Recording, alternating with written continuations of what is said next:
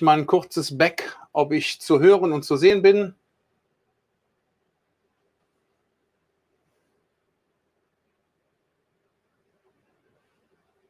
Top, super, alles klar. Ja, dann herzlich willkommen hier aus unserem Studio in Köln. Mein Name ist Stefan Schneider von der Firma Eterma und wir möchten Ihnen heute in unserem Webinar ein Sanierungsthema näher bringen. Es geht darum, die noch ja, sehr hohe Anzahl an Nachtspeicheröfen zu ersetzen und hier eine Alternative zu bieten. Zugeschaltet ist auch wieder mein Kollege Sandro Lorsch aus Baden-Württemberg. Er kümmert sich schon während des Webinars um Ihre Fragen, die Sie gerne unten rechts eintragen können. Und auf Ihre Fragen gehen wir natürlich wie immer gerne am Ende des Webinars ein.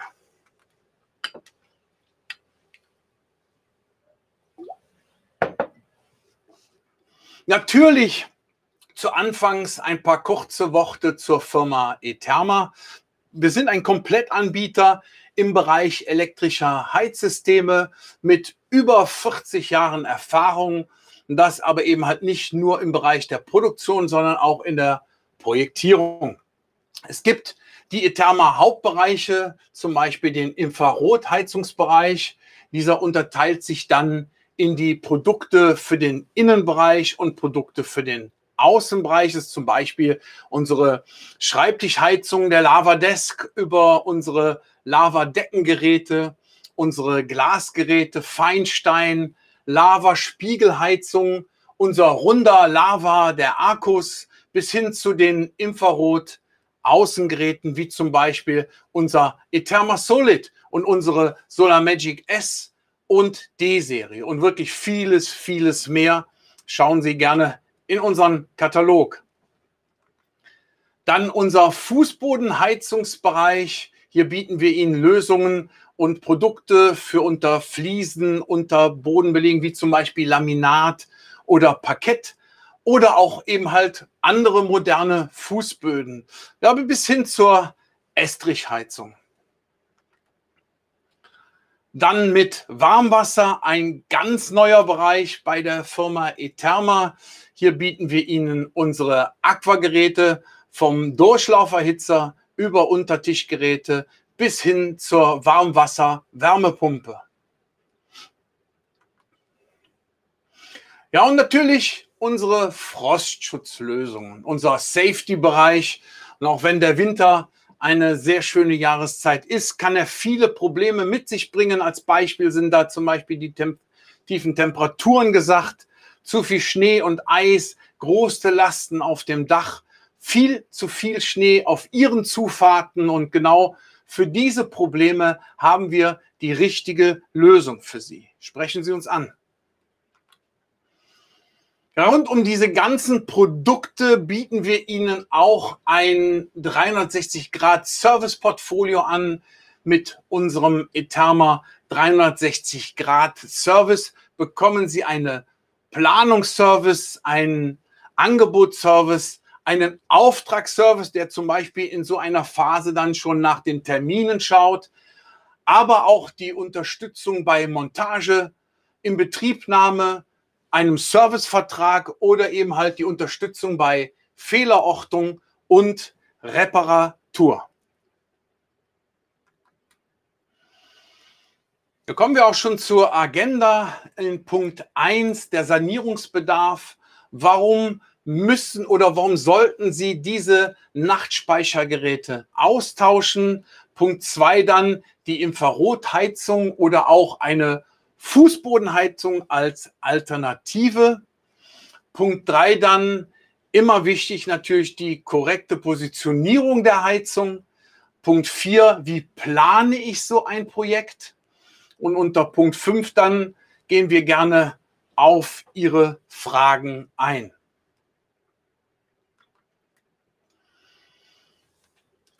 Ja, der Sanierungsbedarf. Also in deutschen Haushalten befinden sich unzählige veraltete Nachtspeicherheizungssysteme. Die Technik ist längst überholt, die Ansteuerung ist kompliziert und sie wird finanziell nicht mehr gefördert. Äh, als Beispiel, der Unterschied zwischen Tag- und Nachtstrom ist meistens sehr gering oder gar nicht mehr da. Man kann hier schon von Energieverschwendung reden. Um die Luft mit dieser Technik zu erwärmen, bedarf es viel Kraft. Viel Kraft heißt viel Energie und die kostet viel Geld. Und das wollen wir vermeiden. Und was kann ich tun? Ich habe gerade hier die Möglichkeit eines enormen Einsparpotenzials durch einen Heizungsaustausch auf eine moderne und effiziente Elektroheizung.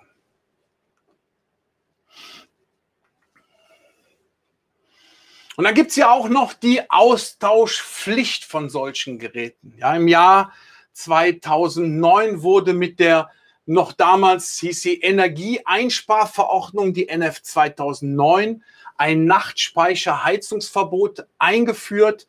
Verboten waren die Nachtspeicheröfen dabei, vor allem in großen Gebäuden, so groß auch nicht, aber mehr als vier Wohneinheiten. Gesetzte Fristen waren hier ab dem 01.01.2020 mussten Verbraucher vor 1990 eingebaute Nachtspeicherheizungen austauschen. Für später eingebaute Nachtspeicheröfen galt das Verbot nach 30 Jahren im Betrieb. Und nach 1990 erneuerte Nachtspeicherheizungen sollten nach 30 Jahren äh, wieder erneuert werden.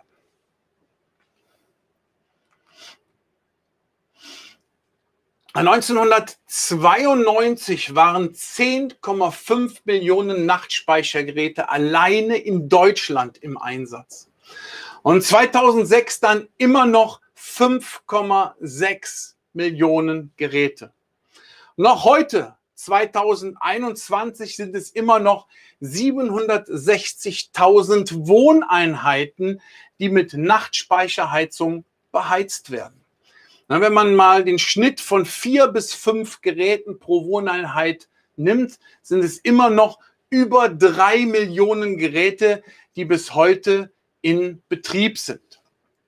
Es würde in den nächsten zehn Jahren nach unserer Einschätzung ein Austausch von circa 250.000 Geräten im Jahr bedeuten.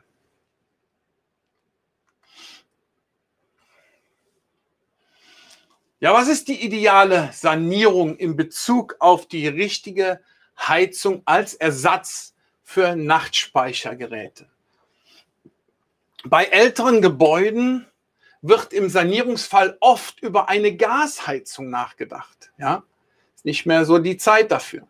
Bei älteren Gebäuden, die in der Vergangenheit ohne wasserführende Heizung mit Wärme versorgt wurden, sind Heizungsrohre Heizkreisverteiler und auch Heizkörper nicht vorhanden und müssten extra installiert werden.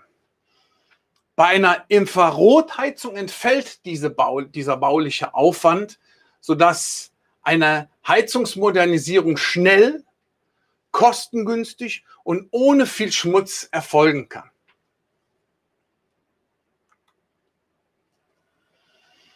Ja, die Elektroheizung als Ersatz. Das sind perfekte, wirklich zwei perfekte Lösungen mit demselben Ziel. Die Infrarotheizung in den verschiedensten Varianten an der Wand und an der Decke oder die Infrarotheizung oder die, oder die Fußbodenheizung als Dünnbettheizung oder zum Beispiel Laminotherm unter Laminat oder Parkett oder eine Estrichheizung, ja, oder beide Heizungssysteme als Kombination.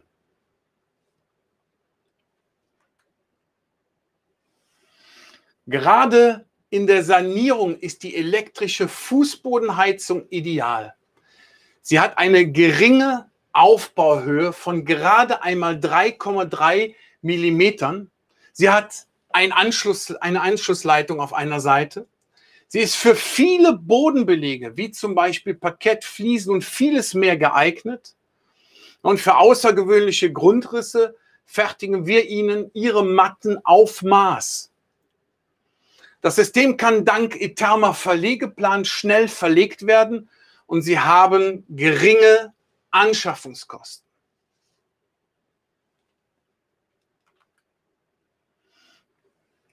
Die Infrarotheizung als die Heizung der Zukunft. Und warum funktioniert eine Etherma Infrarotheizung so gut? Sie erwärmt primär nicht die Luft, sondern wirkt da, wo sie auf Materie trifft. Die Wärmestrahlung erwärmt jede Wand, die Decken, die feststehenden Körper wie zum Beispiel Möbel und natürlich auch den Menschen. Die Menschen und auch Gegenstände speichern die Wärme und geben sie als Sekundärstrahlung wieder an den Raum ab. Der ganze Raum wird erwärmt und sie haben so auch keine Schimmelbildung mehr. Auch diese trockene Heizungsluft ist Vergangenheit. Ja? Sie haben einfach ein angenehmes Raumklima ohne große Temperaturgefälle von der Decke zum Boden.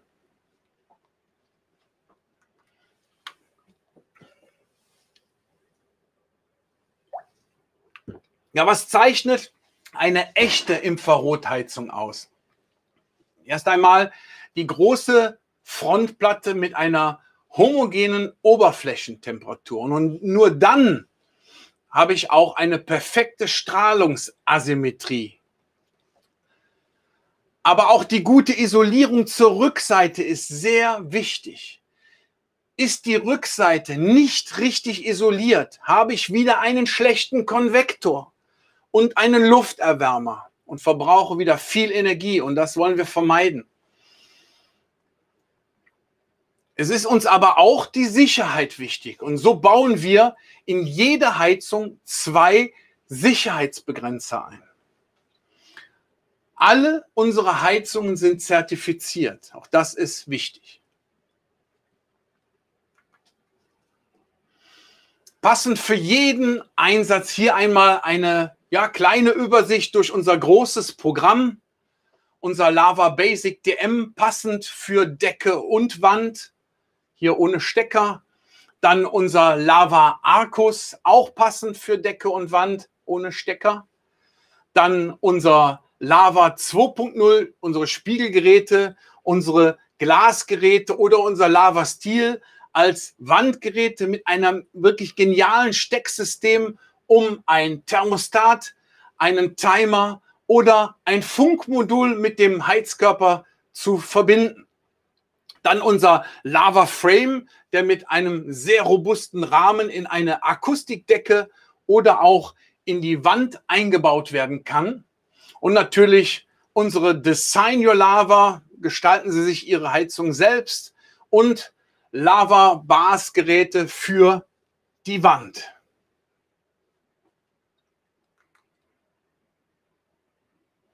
Ja, sehr wichtig ist die richtige Montage von Infrarotheizung. Auch die Platzierung der Heizpaneele im Raum ist entscheidend, damit die Wärmewellenheizungen den gewünschten Effekt haben.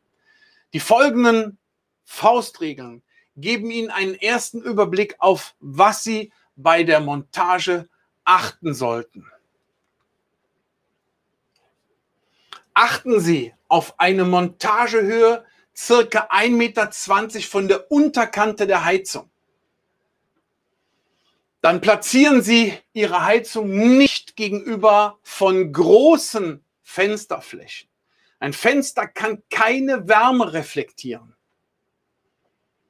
Dann je mehr Festkörper wie Wände, Möbel etc. angestrahlt werden, desto besser die Strahlungswirkung planen Sie in längliche Räume lieber zwei Infrarotheizungen als nur eine mit mehr Kraft. Für eine effiziente Wärmestrahlung in den Raum darf man das Infrarotpanel nicht verdecken. Alle Heizungen müssen frei in den Raum arbeiten können. Und wenn Sie oder Ihr Kunde aus Platzgründen eine Infrarotheizung nicht an eine optimale Stelle setzen kann oder möchte oder können, haben wir für Sie heute ein neues Produkt, was ich Ihnen gerne vorstellen möchte. Unser Etherma Duo Plus. Eine Kombination aus Infrarotstrahlungsheizung und Konvektor. Die Oberfläche ist aus Stein, hat die Farbe weiß. Die Maße sind ein Meter mal einen halben Meter und 10,5 Zentimeter in der Tiefe. Beim eingebauten Thermostat kann ich eine Temperatur von 7 bis 28 Grad einstellen. Ne, diese Geräte gibt es in zwei Typen, einmal mit 1500 Watt und einmal mit 2000 Watt. Also dieses Gerät, wie Sie jetzt auch hier auf dem Bild sehen können, kann ich da einsetzen, wo ich keine Möglichkeit habe, meine Heizung anders zu positionieren in der Nische. Passt dieses Gerät genau rein. Ja, und wie plane ich so ein Projekt? Und das ist eigentlich immer wieder dasselbe, was ich sage. Je mehr Informationen, umso besser. Und hier muss ich definitiv wieder alle Daten sammeln. Wie alt ist das Haus? Wie alt ist der Altbau? Wurde der Altbau energetisch saniert? Wie gut sind die Fenster isoliert? Und mit den ganzen gesammelten Daten planen wir dann mit Ihnen zusammen Ihr Projekt.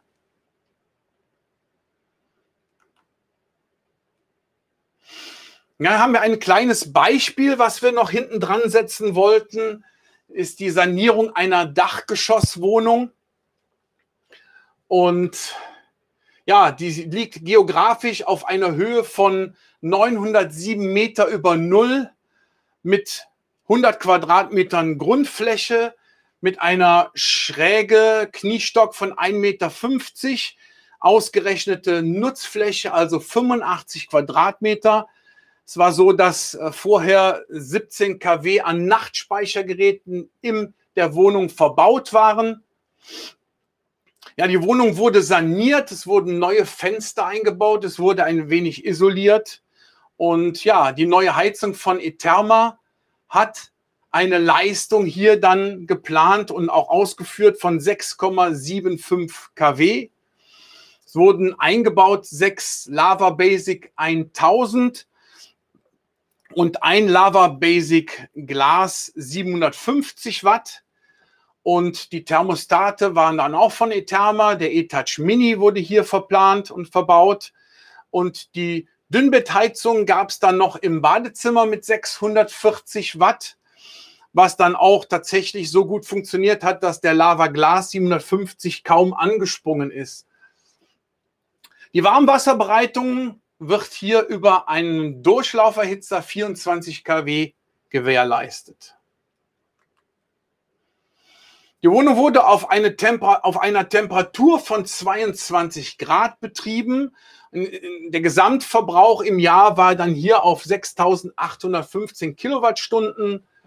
Warmwasser wurde hier natürlich geschätzt bei zwei Personen auf 1.365 Kilowattstunden und somit dann ein Verbrauch von 5450 Kilowattstunden im Jahr für ihre Wärme und natürlich auch für den Haushaltsstrom zusammen.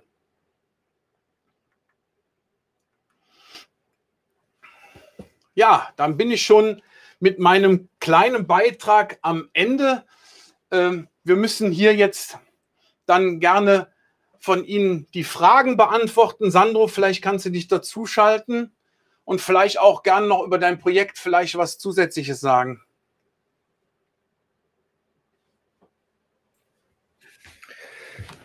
Ja, hallo auch von meiner Seite. Ähm, ich habe gerade noch kurz eine Frage. Dein Mikrofon ist nicht da, ist nicht an. Hallo? Hallo?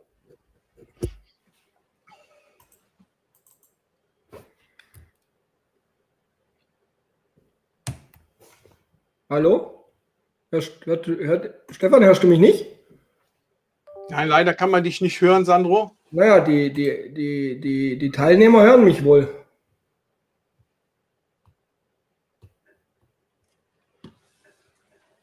Also scheinbar hört mich nur. So, jetzt scheint es aber wieder zu funktionieren. Ja, also die Teilnehmer hören mich wohl. nur irgendwie kam es bei dir nicht an. Ich habe gerade noch kurz auf einen Kommentar geantwortet. Ähm, deswegen war ich noch kurz am Schreiben.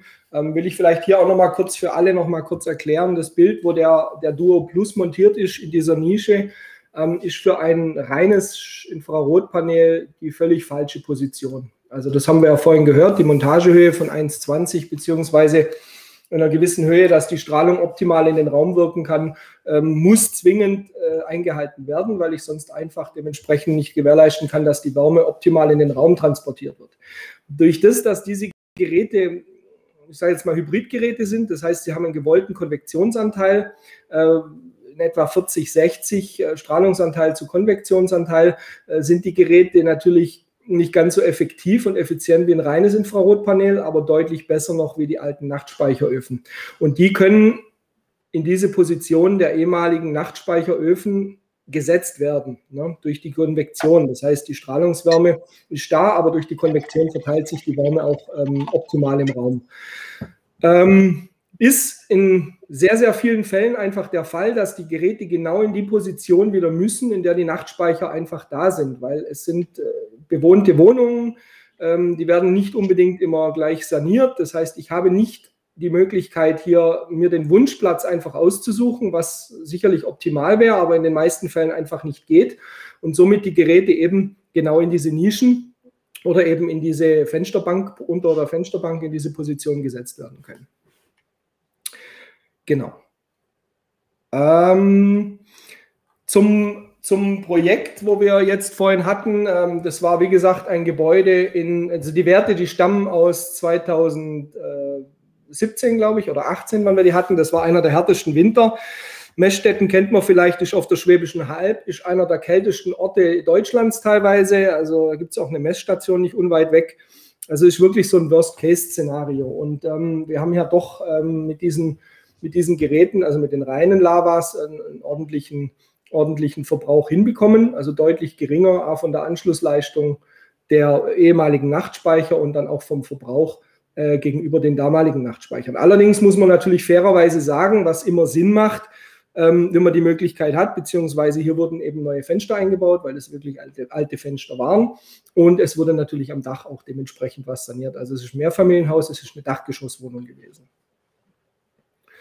Gut, jetzt gehen wir mal zu den Fragen vielleicht. Jetzt muss ich gerade noch mal hochscrollen.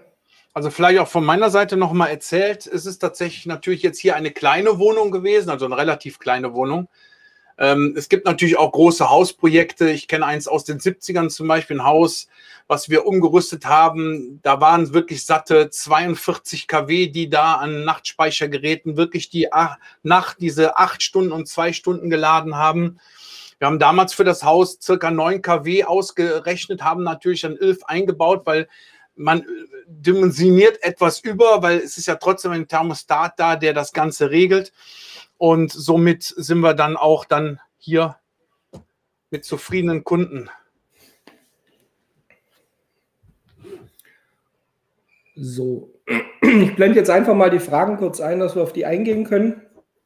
Ähm, also es ist in der Tat so, dass das Gerät immer permanent so funktioniert. Das heißt, es ist gewollt nach hinten. Wir haben vorhin den Schemaaufbau gesehen. Die Geräte sind, die reinen Infrarotgeräte sind natürlich nach hinten so isoliert, dass nach hinten keine Wärmeabgabe stattfindet.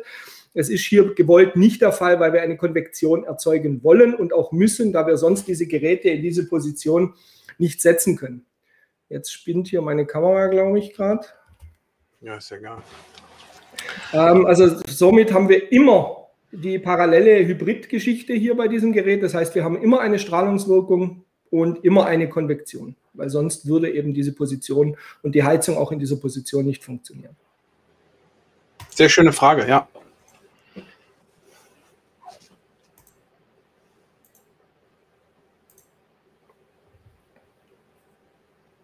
Das ist richtig. Ja, es ist, das ist auch eine sehr, sehr schöne Frage, ist tatsächlich so. Also man sollte definitiv natürlich äh, einen, einen Infrarotheizkörper nicht abdecken. Aber hier ein Handtuchhalter sollte immer so dimensioniert sein, dass er zum Teil eben halt das Handtuch wärmt. Und glauben Sie es mir, wenn Sie einmal ein Handtuch, was von einem Infrarotheizkörper aufgewärmt worden ist, das ist der pure Luxus. Aber zusätzlich soll natürlich der Rest der Heizung soll natürlich in den Raum arbeiten. Und das ist aber vollkommen richtig. Die Frage ist äh, sehr berechtigt. Infrarotheizkörper darf man nicht abdecken. Also man darf ihn nicht verdecken, weil er sonst die Wärme oder die Strahlungswärme nicht in den Raum arbeiten kann.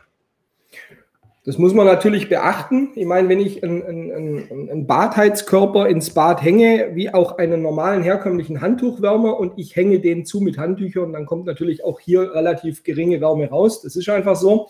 Man muss hier vielleicht in der Tat schauen, wenn es eine Zusatzheizung ist mit, mit, ähm, mit äh, Haltebügeln für Handtücher, dass ich einfach im Prinzip die Handtücher entweder davor dran hänge gehe duschen, nach zehn Minuten komme ich raus, dann sind die Handtücher definitiv warm, ich kann sie runternehmen, dann wirkt auch die Strahlung wieder in den Raum und ich kann natürlich auch die feuchten Handtücher draufnehmen. Aber wenn ich dieses Gerät permanent verhänge mit Handtüchern, ähm, passieren kann nichts, also brandschutztechnisch und dergleichen. Das sind also alles TÜV-geprüfte Geräte. Aber es ist natürlich in der Tat so, wenn ich das halbe Gerät dementsprechend verdecke, ähm, dann habe ich auch nur die halbe Strahlungswirkung in den Raum. Das muss in der Tat beachtet werden.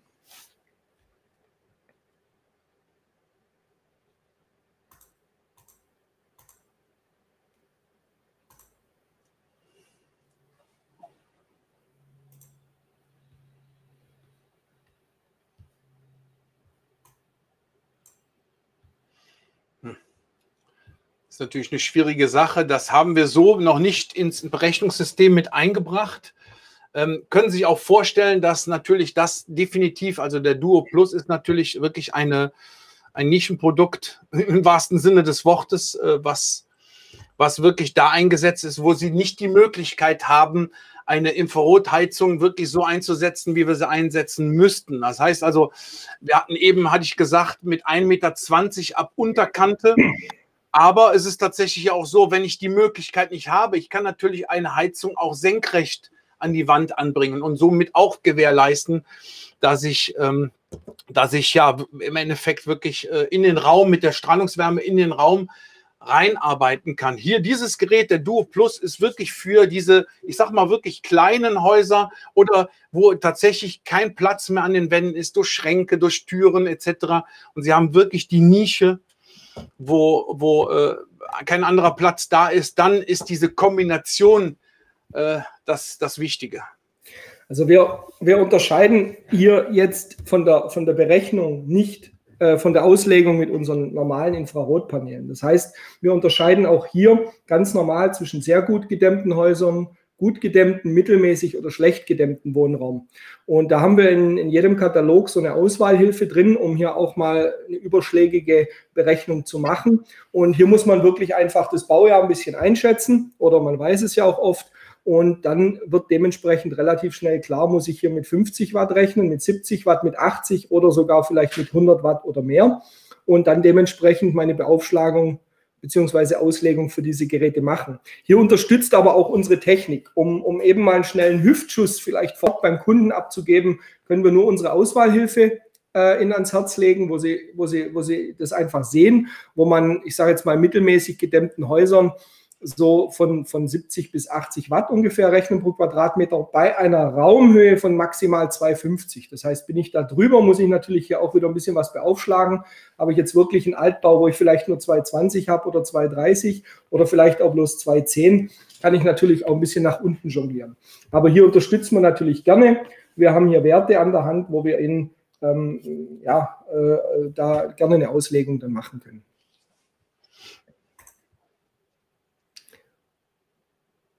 Hat der Stefan schon beantwortet? Leider nein. Ist aktuell noch nicht im Online-Planer mit drin.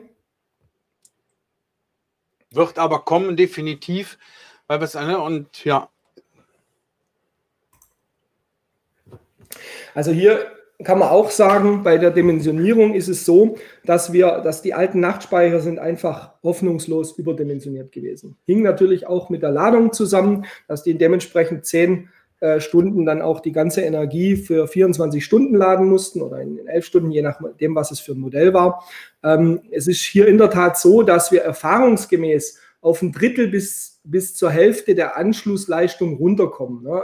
Das ergibt sich aber in der Tat aus dieser ich nenne es jetzt mal Auswahlhilfe wieder, wo wir gerade schon drüber gesprochen haben, wo wir einfach das Gebäude einschätzen und dann dementsprechend mit den Werten dann an den, an den Start gehen und habe ich halt einfach einen 30 Quadratmeter Raum, um das einfach mal in Zahlen darzustellen. Und ich weiß, okay, ich brauche irgendwo 70 bis 80 Watt, dann habe ich irgendwo 2,4, 2,5 kW, die ich reinbringen muss. Reicht das mit einem Gerät nicht, brauche ich natürlich zwei. Erfahrungsgemäß war aber in solchen Räumen früher ein Nachtspeicher drin mit 5 oder 6 kW. Absolut.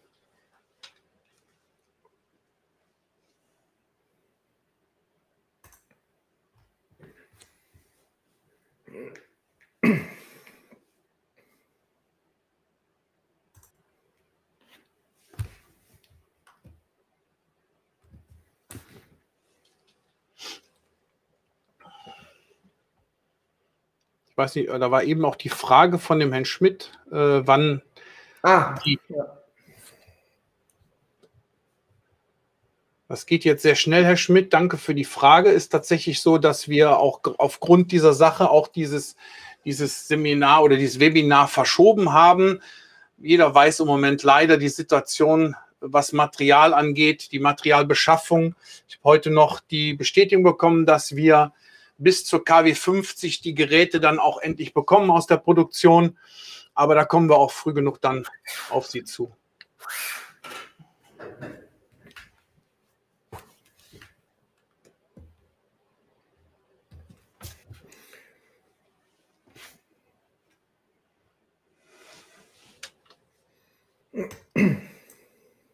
Scheinen, glaube ich, alle.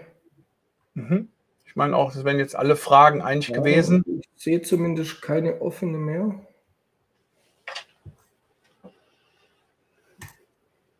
Ja, das war es, glaube ich. Also sollten natürlich im Nachgang Fragen kommen, wenden Sie sich an, an, an uns direkt, an die Technik, wenden Sie sich an unsere Partner in den Regionen. Ähm, wir sind über die Homepage unter Kontakte, ähm, sind die zuständigen. Ansprechpartner auch vor Ort die ja. Ihnen gerne mit Rat und Tat zur Seite stehen. Und ansonsten natürlich auch gerne direkt an uns, ähm, wenn hier Hilfe benötigt wird. Ähm, wir sind hier ähm, jederzeit über E-Mail, Homepage, Telefon dann auch erreichbar. Genau. Ja, dann an der Stelle herzlichen Dank, dass Sie dabei waren. Ich hoffe, dass es Ihnen gefallen hat. Ansonsten gerne auch per E-Mail mal äh, Themen, die gewünscht sind, an uns schicken. Und äh, wir bedanken uns und wünschen Ihnen noch einen angenehmen Tag. Wir haben ja noch eine Frage bekommen. Die Listenpreise, oh. in der Tat, ähm, die Listenpreise liegen, äh, Stefan, du hast sie, glaube ich. Äh, ja, also die Listenpreise liegen zwischen 800 und 900 Euro brutto. Ja.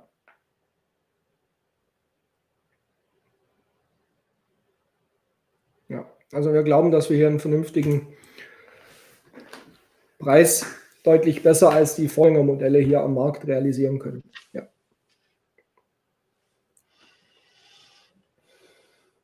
Jetzt sagt man noch, ob noch eine Frage kommt, sonst versuche nee. ich nochmal noch mal herzlichen Dank an alle und einen angenehmen Tag und bis zum nächsten Webinar. Dankeschön.